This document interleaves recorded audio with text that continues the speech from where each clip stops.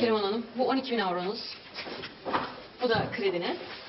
Masrafları düştükten sonra 45 bin net ödüyoruz. Teşekkür ederim. Bir de sizden imza rica edeceğim. Bu hesabı kapattığınız için. Bu krediniz için. Bu da evinizi ipotek ettiğiniz için. Başka? Başka bir şey yok. İyi günler de harcayın. Teşekkür ederim.